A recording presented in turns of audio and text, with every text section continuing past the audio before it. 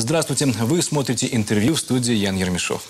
Красноярский край на сегодняшний день занимает третье место по э, количеству действующих инновационных предприятий. И э, по последней статистике мы занимаем первое место э, по количеству вложений в различные научные разработки. Поэтому мы сегодня пригласили к нам в студию министра инвестиций и инноваций Красноярского края Ольгу Урухулаеву. Ольга Владимировна, здравствуйте. Здравствуйте. Вот эти вложения там, где мы занимаем первое место, но это пока что еще данные 2012 года, в 2013 будет посчитано отдельно, а, это что за деньги? Это государственные деньги, это частные деньги, это смешанные деньги? Основная часть этих денег, я бы сказала, около 90% это вложение предприятий, которые э, делают в своих интересах исследования и разработки для того, чтобы в последующем повысить эффективность деятельности, освоить новые рынки, внедрить новые технологии. Это говорит о том, что это хороший такой серьезный задел для того, чтобы на базе этих разработок дальше развивались инновации. То есть наши предприятия, они уже э, то есть, начали э, понимать необходимость различных изменений и инноваций? Я бы сказала, что они не просто начали понимать, они это уже очень хорошо понимают, и поэтому э, активно занимаются разработками и исследованиями, более того, активно взаимодействуют с нашими инновационными предприятиями и уже с нашей созданной инновационной инфраструктурой. В последнее время в обществе идет очень много споров. И относительно инноваций. Вообще у нас общество в последнее время спорит по по любому возможному поводу, но э, спор возникает вокруг э, государственных денег. Надо ли государству вкладывать свои средства э, в иннова инновационный бизнес, в инновации? Или все-таки э, бюджет не должен принимать в этом никакого участия? Вот это основные споры, которые возникают. Э, на ваш взгляд, государство должно вкладывать деньги государственные – или все-таки лучше это отдавать уже как бы венчурным фондам? Но учитывая, что опережающее технологическое развитие страны – это все-таки государственная задача, то определенные условия для того, чтобы этот самый бизнес высокотехнологично быстро развивался, государство должно создать. И по этому пути идут все государства, кто так или иначе связан с инновациями. На старте нужна помощь. Э, когда проект утвердился, когда он уже пошел вперед, там, безусловно, возникают венчурные фонды, частные инвесторы, которые проект подхватывают и доводят его до конца. Но у любого инновационного проекта есть стадия, когда нужно, во-первых, доказать, что проект востребован, и продукцию, которую предлагает предприятие, она э, интересна и конкурентоспособна по отношению с аналогами. А во-вторых, быстро продвинуть этот продукт. Вот здесь и поддержка государства применяется. Вот у нас сейчас сколько примерно, э, если посмотреть соотношение государственных денег и э, частных денег? Ну, Есть ли вообще частные деньги? Да, мы ведем э, такую статистику в нашем инновационно-технологическом бизнес-инкубаторе. На сегодня там размещено 91 резидент, и каждый из них, естественно, развивает свой проект за какие-то деньги. Так вот, на сегодня эти все резиденты привлекли э, более 480 миллионов рублей. Из них 67%, а это почти 320 миллионов рублей, это деньги частные. То есть уже во все проекты практически вкладываются частные деньги. И вот оставшаяся часть, это что-то около 140 миллионов рублей. Да, треть. Это то, что на старте мы помогли этим компаниям. Угу.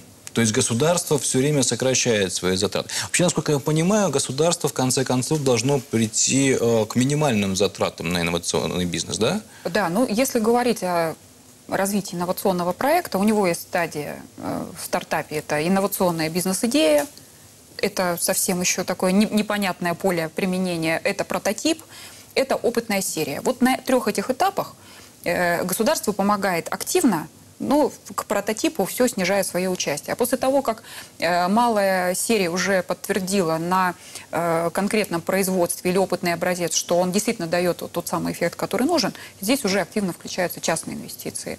И по нашим, вот мы ведем учет, как я сказала, срока жизни и развития инновационных проектов. На сегодня у нас на стадии инновационной идеи находится всего 4 резидента. То есть если вначале они все были вот на этой стадии, то все продвинулись достаточно далеко, многие находятся на внедрении, поэтому помощь действительно сокращается со стороны государства у этих проектов, и в основном появляются частные инвестиции. Ольга Владимировна, а, хотелось бы поговорить отдельно о Красноярском инновационном бизнес-инкубаторе. Какие инновации, вот какие разработки сейчас там ведутся? Вот что интересного будет применено в вот в ближайшем будущем уже? Ну, что мы получим? Сразу хочу сказать, что в инкубаторе разработки никакие не ведутся. В, раз- э, в инкубаторе развиваются проекты на основе уже имеющихся инновационных разработок. Ну, я имею в виду, какие проекты. Вот я, может Да. быть, ошибся в терминологии чуть-чуть. Но это очень важно. Да? это очень важно, да. Разработки у нас развиваются в вузах, в Академии наук, а инкубатор как раз бизнес на основе этих разработок. Инновационные, активные бизнесмены, которые увидели в этих разработках перспективу, они вот там как раз делают бизнес на этом. И в этом мы им помогаем, чтобы потом возникли производства. Что у нас, вот я тут кое-какую статистику с собой взяла, что у нас э, сейчас как показала жизнь да, вот за, за это время. Э, В общем-то, мы не удивились, увидев результаты того, как распределились инновационные проекты по технологиям.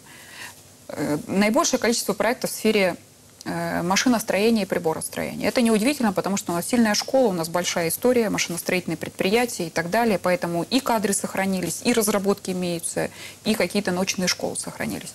А востребованность есть на территории Красноярска и Красноярского края Да, конечно. в этих э, разработках? Да, машиностроение, приборостроение, мы не говорим сейчас о каких-то там кранах крупных, комбайнах, но тем не менее это оборудование и машины для действующих производств.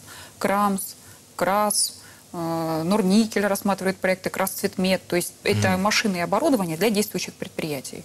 Вот, э, вот такой сегмент заняли наши предприятия, причем это уже такое оборудование и машины, которые востребованы и в других регионах, и даже за рубежом.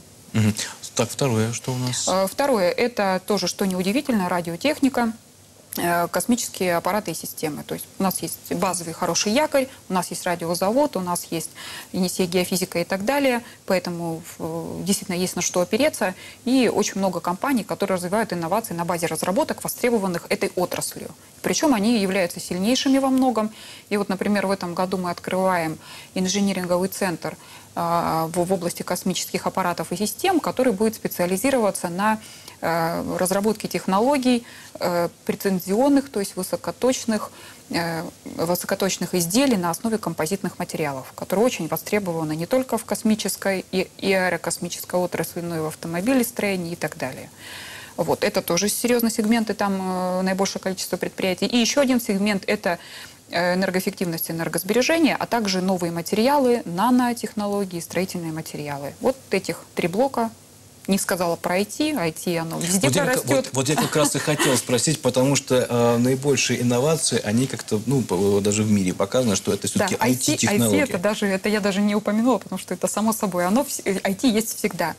Но э, наш регион, опять же, учитывая нашу историю, наш серьезный задел по э, технологическим инновациям, не, не по не по IT, мы стараемся делать акцент на поддержку таких проектов, потому что IT поддерживать проще всего.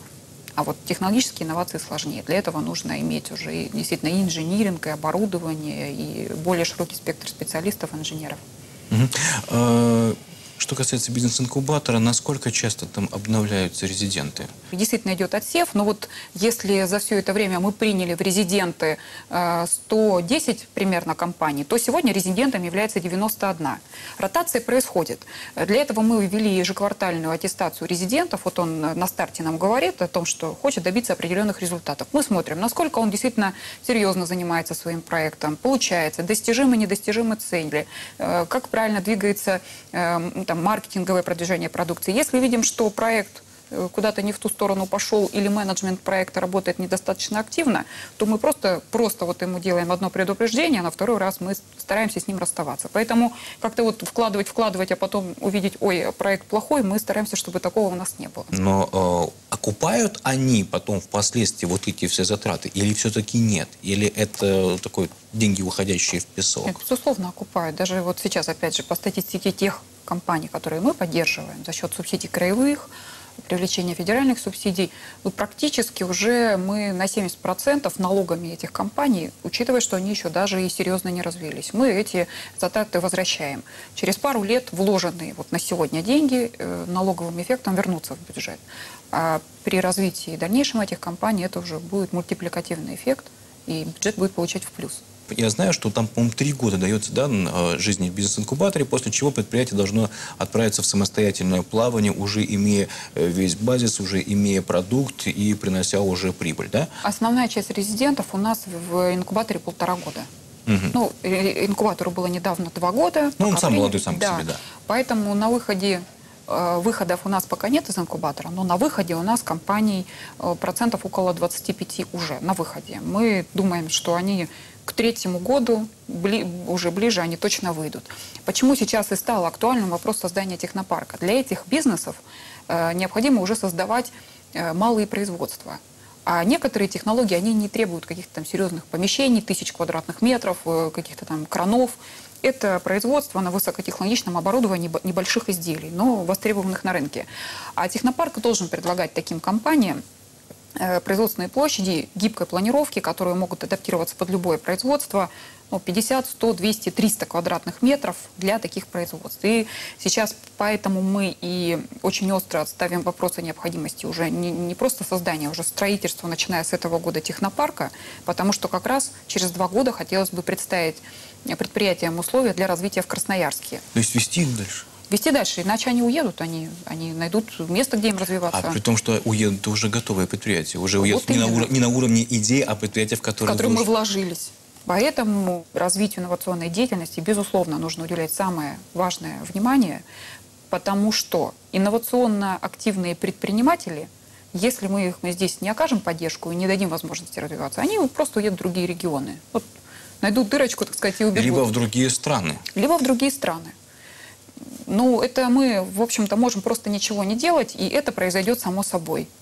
Ничего не потратили, но ничего и не получили.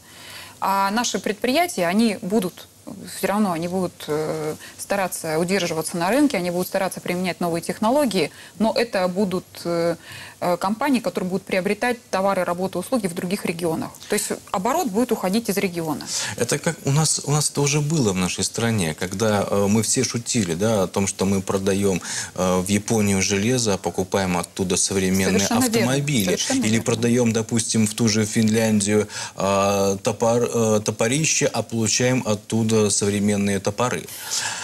Мы уже этот мы этот аспект уже проходили. Да, да. Ну вот если не э, оставлять, не, при- не создавать центры притяжения инновационных высокотехнологичных бизнесов у нас, то опять мы придем к этому. Будет по статистике казаться, что оборот наших крупных предприятий большой и серьезный, но из этих денег в крае ничего не будет оставаться. Только в статистике будет учитываться. Все будем покупать в других регионах. Поэтому инновации развивать нужно. Ольга Владимировна, большое спасибо, что пришли к нам в Спасибо студию. Было очень интересно с вами пообщаться и надеюсь, что вы будете приходить к нам как можно С чаще. удовольствием приглашайте. Дорогие друзья, у нас сегодня в гостях была министр инвестиций и инноваций Красноярского края Ольга Рухулаева.